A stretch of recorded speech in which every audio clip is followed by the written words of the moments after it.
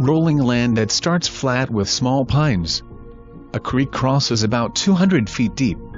Then it has a high ridge with large pines before a second creek crosses about another 200 feet deep that comes out of a pond to the south. After that the land goes uphill to what appears to be the highest part of the land where there is a 1,000 gallon septic system and a pipe where a well was that might still be good. Riverbend Utilities said they will supply community water also. Manufactured home on each side so another can likely be permitted with a conditional use permit or build a home. Pictures include one of the back half of neighbor to the south land to show what this land could look like because it has similar elevations. Call today